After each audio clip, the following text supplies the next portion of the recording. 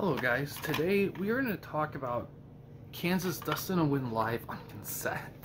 Um, this is definitely more of a hidden album, as you'll see in a little bit. Um, so, basically, on Wikipedia, so this thing, the original, original album was King Biscuit Flower Hour Presents Kansas.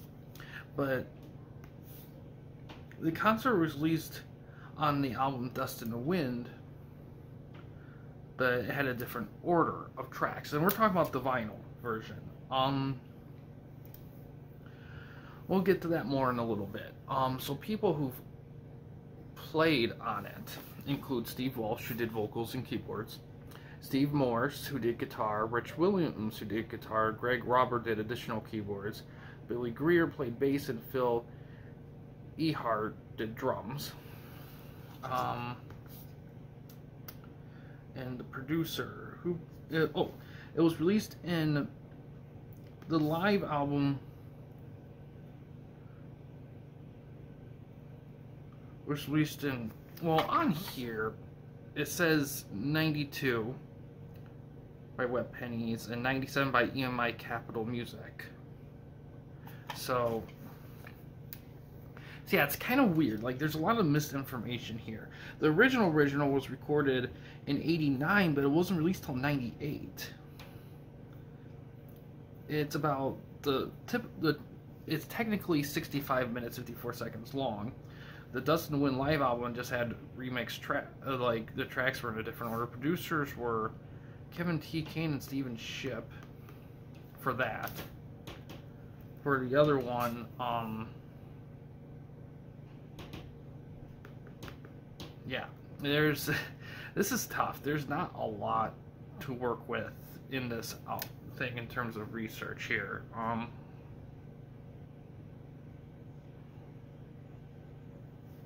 because here's the thing. Apparently, this vinyl version it had 12 tracks. The CD had 10 tracks, and the cassette one I had had eight. So even though it's the same thing, the same thing was was the same concept from a different album re-released under a different thing. And each version of it has different amount of tracks. It's kind of crazy. but yeah, I, I'm not quite sure how long this version is. Um, and producer, I know who produced it, but I don't, it seems like there's not any background information on them, so we're gonna skip that. Length, we'll have to see here. Um, so on AllMusic though, this is probably the lowest rating thing I've ever reviewed. This one only has one and a half stars by critics, and users gave it two and a half stars with two, two people, only two people bothered to review this thing. Um, yeah, this is based on the CD version though. It looks like the CD version is 5902. If you take away if you take away the last two tracks of this, because everything else is in order besides the two tracks. I guess the two tracks were cut for the cassette, which is weird. It's 10 minutes, 10 and a half minutes with those two, so it'd be like 48.32 roughly would be the length of the cassette. CD version is 5902. If you take away 10 minutes 30 seconds, it's it's about like 49, 48, 32, pretty much. So that's pretty much how long it is. Um,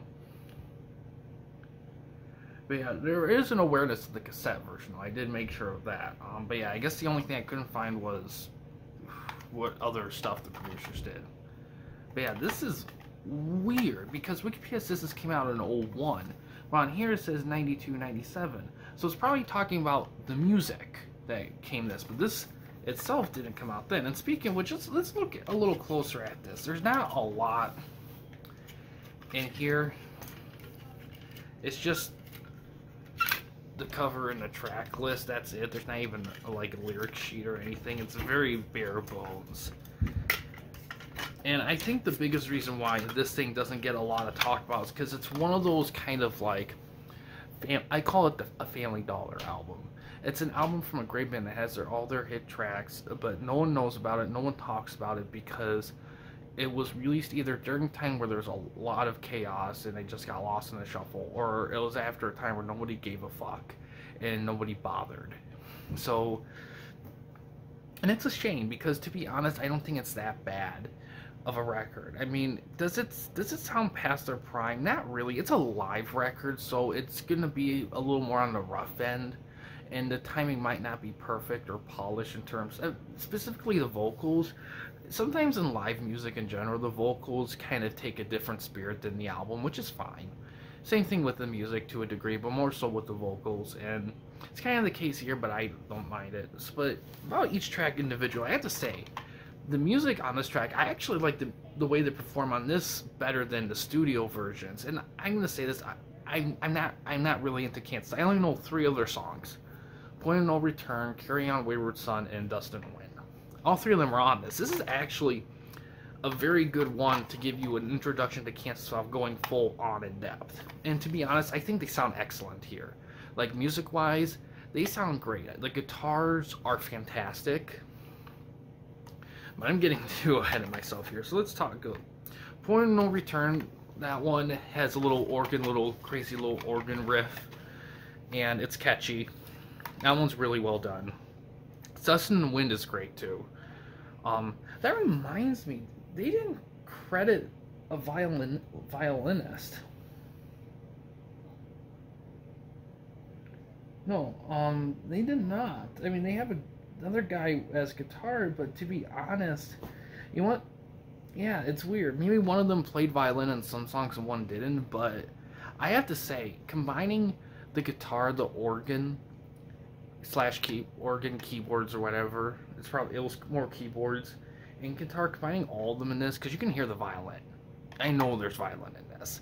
Combine all three of them, it produces such a heavenly, awesome sound.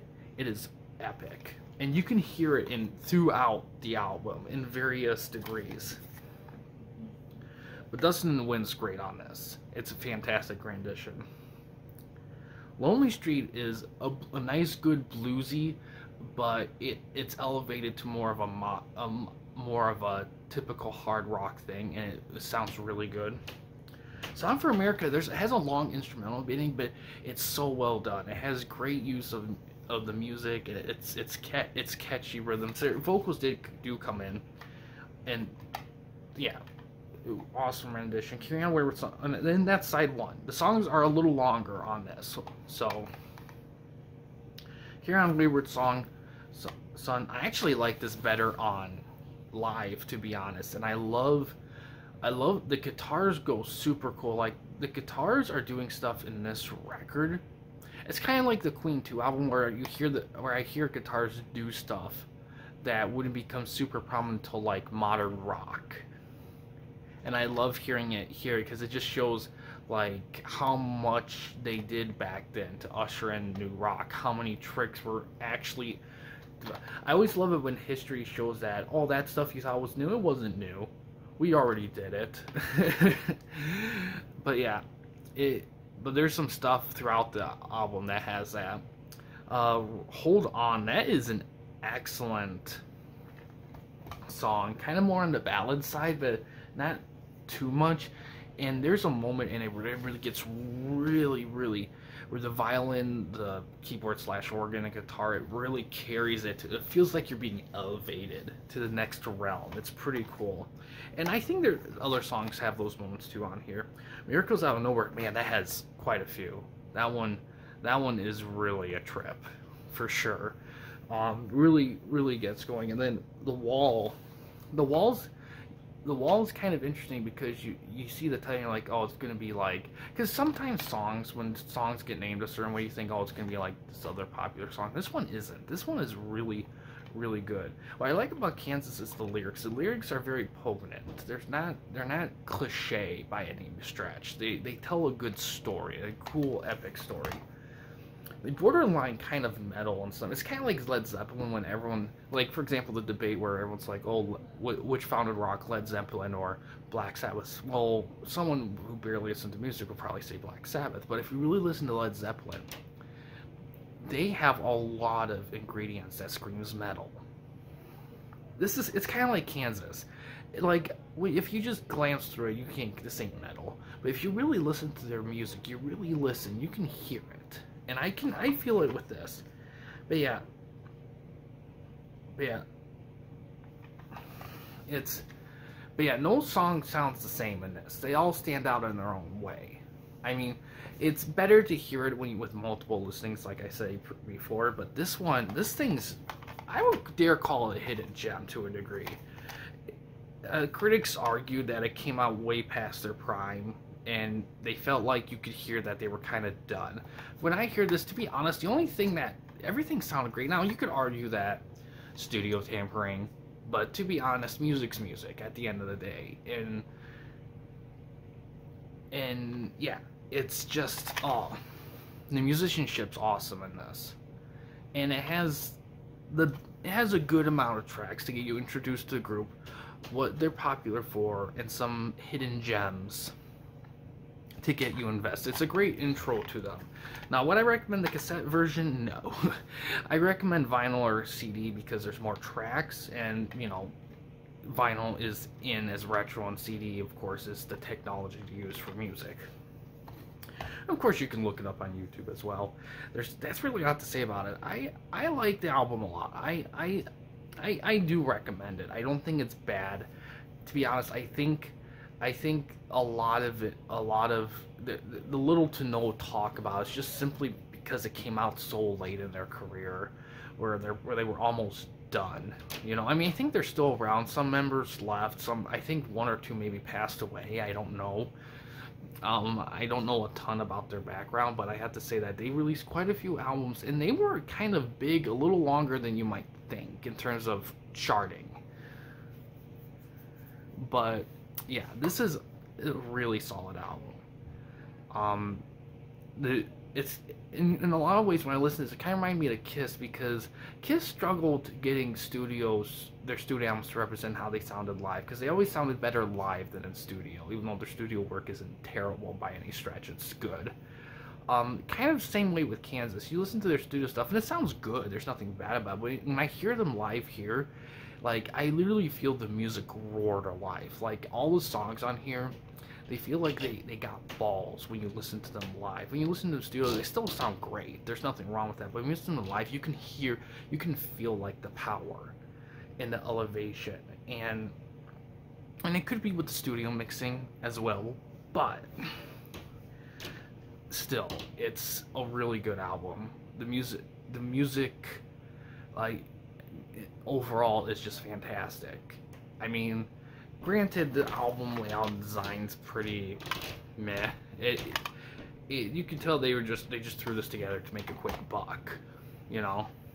But I still love it. I think it's a fantastic album, and overall I recommend it. Kansas, Dust in the Wind, live, right there. Um, but yeah, I you can find it on CD. You can probably find it on vinyl as well.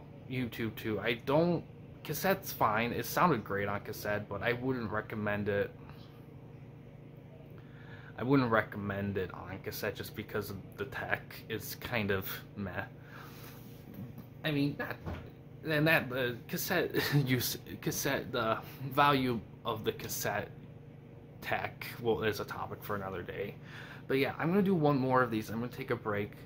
Uh, Mike D food reviews is gonna come back, and that's gonna be kind of a scheduled thing.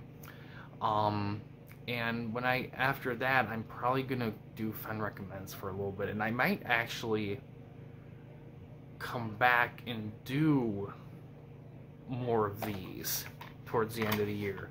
I'm not quite sure. I might. There's always a temptation to do um, a, uh, uh, a vlog series, but but I'm not there yet for that. I'm probably I'm just gonna chill, focus on other things, and but yeah, I I'm gonna try to do more of these later this year, hopefully. Um, probably more towards fall into winter. I'd say is when to estimate. It sounds like a long ways off, but with so much content we're doing on the channel, and if you guys want to see more of these in general, or you have recommendations, let me know. And speaking of which, thanks for watching, guys. Uh, in case you want to chat with me, Mike, or anyone else at the Campy Company, and you don't want to use the YouTube comment section, we do have a couple options. The first one is we have a Discord channel. You can find a link to that in the About page slash About section of our channel. We also have a discussion tab in our channel as well. You can access that through a PC or laptop computer. But yeah, guys, thanks for watching. Please subscribe and like the videos, and have a good day.